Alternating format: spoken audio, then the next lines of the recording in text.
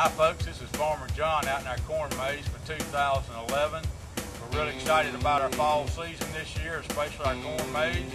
With our corn maze ticket, you also have the vortex tunnel and the jumping pillow. And we also have uh, campfires going if you'd like to make some more. You can visit our website, washingtonfarms.net for more information.